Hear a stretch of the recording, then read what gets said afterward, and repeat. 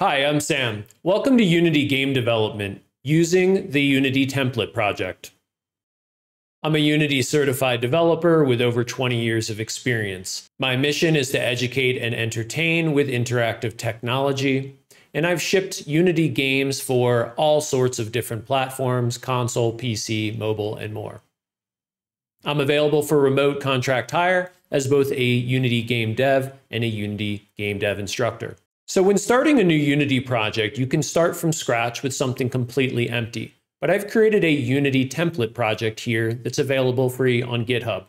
It includes a skeleton folder structure and some best practices implemented. It includes a skeleton folder structure and follows best practices, including a few template scripting files. There's lots of ways you can download from GitHub. One of my favorites is to have the GitHub desktop app installed on your Mac or your PC.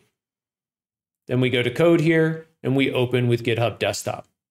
That'll open GitHub Desktop itself. And if you don't already have this installed, it would give you a prompt where to install it. You simply choose a folder and you're done. Then you open up the Unity Hub to get started with any project. And here we're going to be adding in the template project we just shown. So I'll choose add project from disk and I'll browse to where I just installed that from GitHub Desktop. A note on that is within the Unity project template folder, there's a Unity folder. That's the one you want to select and you want to add project. Now that it's open, you could choose whichever editor you want to open in. It's going to show by default the latest LTS version. When that opens up inside Unity, on the right here, we see the My Project panel there. That's a custom README file that comes into this. And you can also customize that if you want to ship it with your project. But it simply gives you a few areas you can click to if you want to learn more about the structure of this basic project. If you forget where that panel is located or you lose focus, up here in Window, you can browse out to the Open README. It'll open up again. It also refers you back to the URL where this was got if you want to read a little bit more of the documentation. You can see that the folder structure is here. It's got some best practices that you can follow. Again, clicking through to that GitHub link, you can read articles about how and why I constructed it this way. Some of the folders are empty and ready for you, and other ones have something in it there to get you started. Now you can open up the included scene.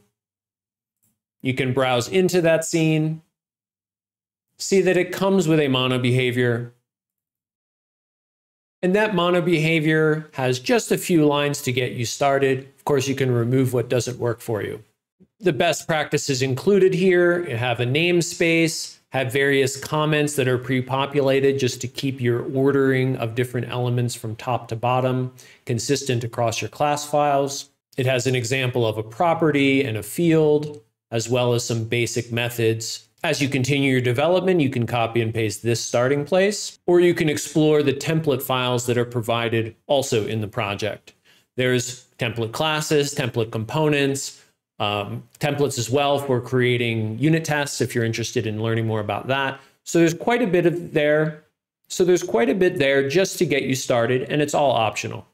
Back here in the editor, we can press play and see that scene running.